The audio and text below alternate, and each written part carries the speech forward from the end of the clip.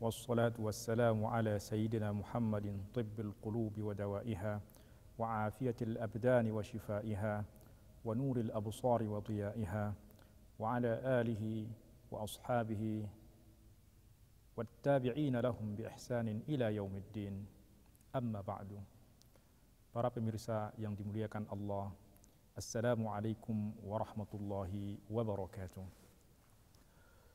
Kita masih bersama Al-Arba'in An-Nawawiyah karya Al-Imam An-Nawawi rahimahullahu taala yang mana di dalam kitab ini beliau mengumpulkan 40 atau 42 tepatnya hadis Rasulullah sallallahu alaihi wasallam. Dan pada kesempatan yang berbahagia ini kita telah sampai pada hadis yang ke-13 yaitu hadis yang berbicara tentang menginginkan kebaikan untuk orang lain sebagai salah satu bentuk cinta kita kepada saudara kita.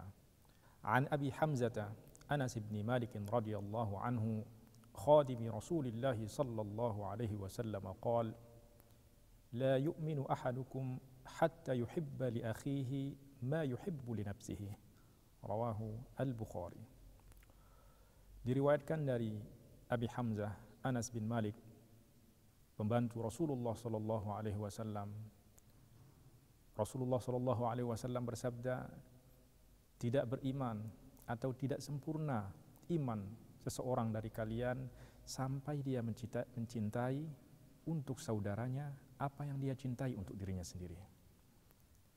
Hadis ini diriwayatkan oleh Imam Al-Bukhari. Pemirsa yang dimuliakan Allah, Cinta adalah anugerah terbesar yang Allah berikan kepada manusia. Cinta adalah sesuatu yang muqaddas, sesuatu yang suci yang Allah anugerahkan kepada kita semua.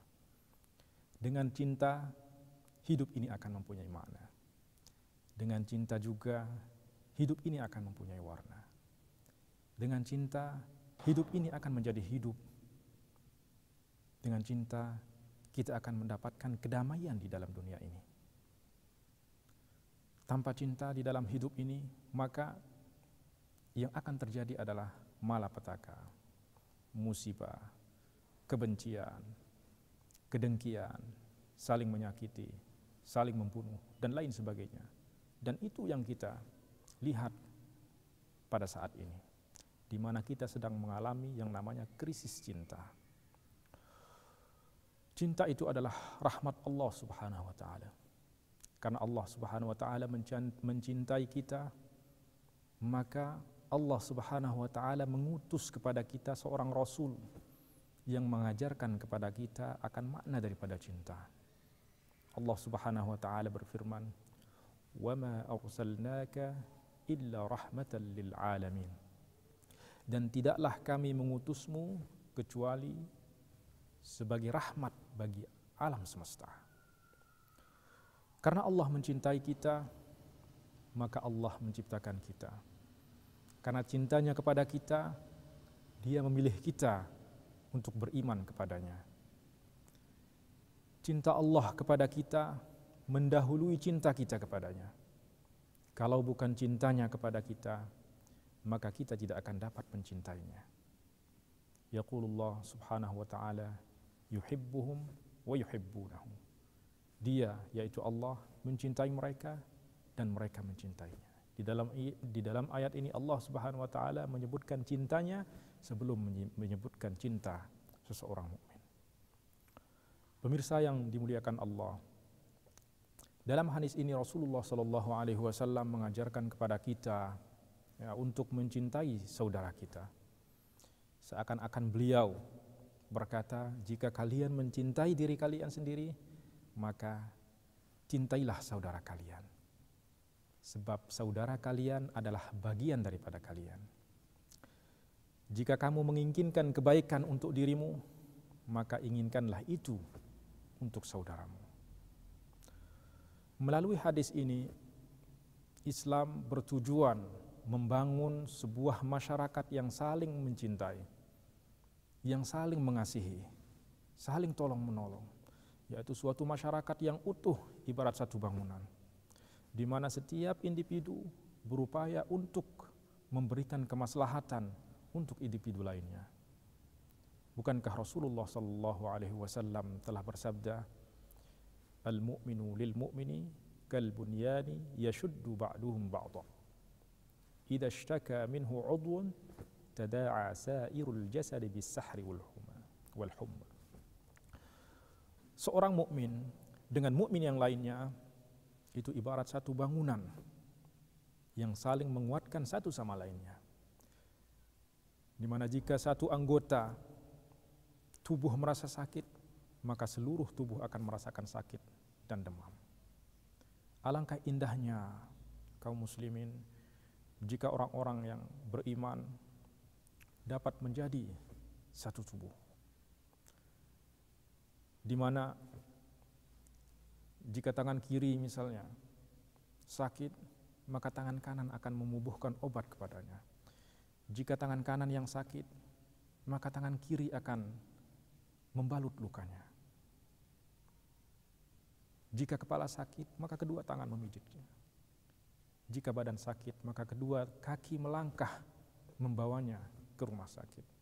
Demikianlah seharusnya seseorang mukmin dengan mukmin lainnya dan itu adalah merupakan salah satu daripada kesempurnaan keimanan seseorang.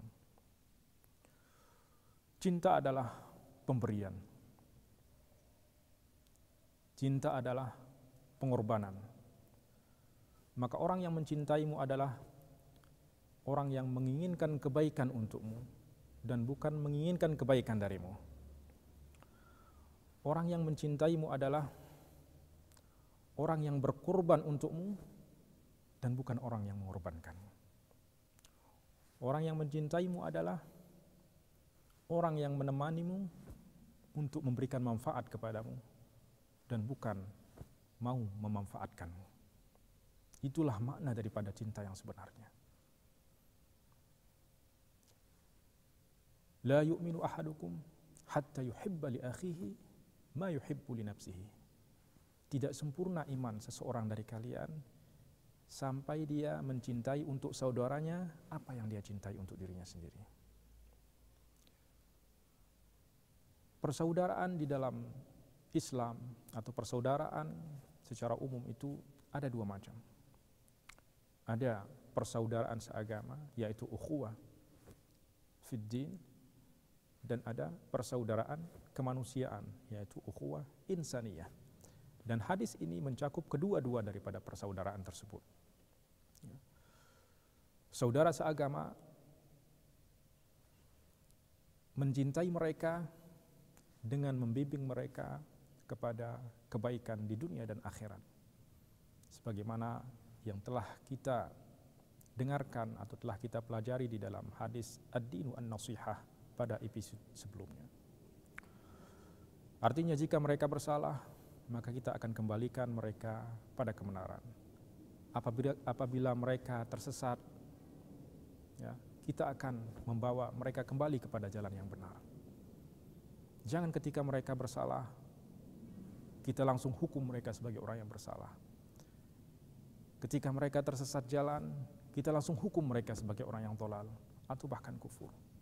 Itu bukan sama sekali manhaj Islam. Itu bukan sama sekali ajaran Islam. Bahkan di dalam hal ini Imam Malik rahimahullah taala mengatakan suatu ungkapan yang sangat dan harus dipegang oleh setiap orang yang beriman. Beliau berkata, "Idza ihtamala qaulul muslimi aw fi'luhu tis'an wa tis'ina wajhan lil kufri wa wajhun wahidun lil iman wajib hamluhu alal iman. Bahwa jika 99% daripada perbuatan atau ungkapan seseorang muslim itu menunjukkan kepada kekufuran tetapi ada satu persen yang menunjukkan kepada keimanan maka kita harus membawa ungkapannya atau memaknai ungkapannya dengan keimanan. Artinya kita tetap menghukum dia sebagai orang yang beriman kenapa? karena kita diperintahkan untuk berhusnuzon kepada seorang muslim berhusnuzon kepada saudara kita. Dan itu adalah ajaran Islam, bahkan inti daripada ajaran Islam. Adapun ukhuwah yang kedua, persaudaraan yang kedua adalah persaudaraan kemanusiaan. Dan ini juga masuk di dalam hadis la yu'minu ahadukum hatta yuhibba li, akhihi ma yuhibbu li nafsihi. Yaitu tidak sempurna keimanan seseorang sampai dia mencintai untuk saudaranya apa yang dia cintai untuk dirinya sendiri. Lalu bagaimana saya mencintai orang yang tidak seagama dengan saya? Cara mencintainya adalah saya mengajak dia kepada keselamatan.